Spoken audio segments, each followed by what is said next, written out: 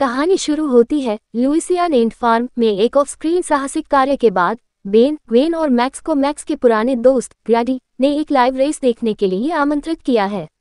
Gwen के विपरीत, Ben न तो शोर की सराहना करता है, न ही इसमें शामिल रेस कार चालकों के कौशल की।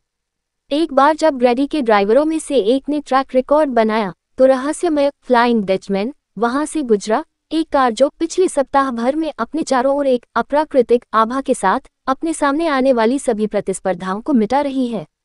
ग्रैडी से कार के प्रेतवादित होने की अफवाह सुनने के बाद, बेन उस रात के साथ कार के हुड के नीचे जाँच करने के लिए निकल पड़ता है।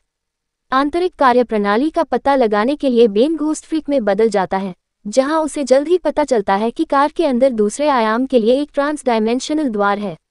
इस क्षेत्र में बेन को डोमेन के स्पीड दानव रक्षक एनिमस का पता चलता है, जो अपने प्रतिस्थापन के रूप में घोस्ट फ्रीक की तलाश करता है। जैसे ही बेन बमुश्किल कार से बच पाता है, वह अपना रूप बदल लेता है और मदद पाने के लिए भाग जाता है। जब वह स्थिति को समझाने के लिए मैक्स के पास भाग रहा था तो दोनों ने देखा कि ग्वेन को कार ने पकड़ लिया है और वह कार में फंसी हुई है।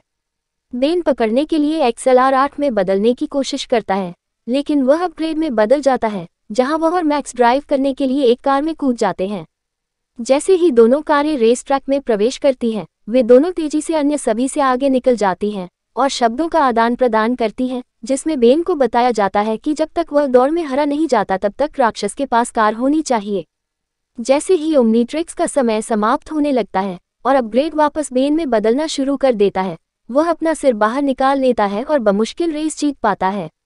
ग्वेन बच जाती है क्योंकि उसके आसपास की कार मलबे में बिखर जाती है और एनिमस नष्ट हो जाता है।